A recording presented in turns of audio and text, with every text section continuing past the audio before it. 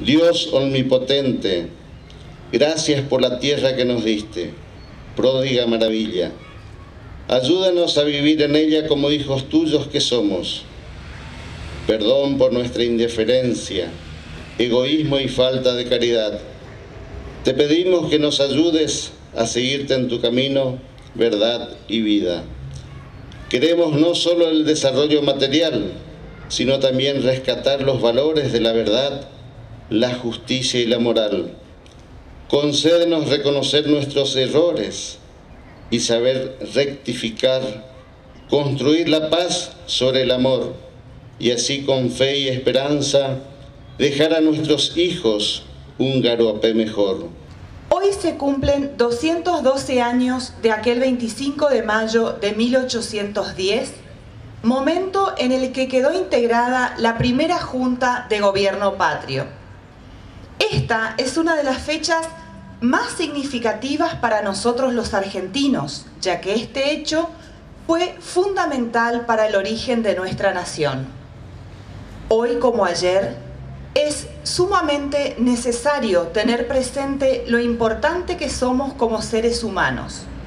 Seres capaces de trabajar, de estudiar, de ayudar al otro, de trabajar en equipo para formar una sociedad mejor y más justa. No hay presente sin memoria y no hay futuro digno sin acción ni compromiso permanente de su gente que va en busca de la libertad. La libertad es convivencia, es diálogo, es encontrar nuevos horizontes, explorar nuevas respuestas, opinar sin ser juzgados, crecer como país. Por eso, mirar hacia atrás y encontrarnos con otras personas que lucharon juntas por la libertad debe darnos fuerzas para recuperar el sentido de pertenencia la identidad que nos hace sentirnos parte de una comunidad que lleva un largo camino recorrido y que elige seguir un mismo camino desde el lugar que cada uno ocupa. Estamos convencidos de que en tiempos de crisis, la solidaridad cotidiana, la responsabilidad de estudiar para ser ciudadanos críticos, dar afecto y transmitir nuestros mejores valores podrán hacernos hoy, como en aquel 1810, un pueblo más libre. Debemos acudir a nuestra sabiduría, a nuestra inteligencia. Esa es la verdadera revolución.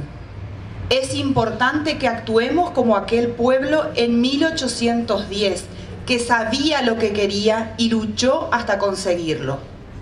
Por eso Hoy los invitamos a contagiarse de ese espíritu que los movilizó y sobre todo para rendir homenaje a esos iniciadores de nuestra libre nación.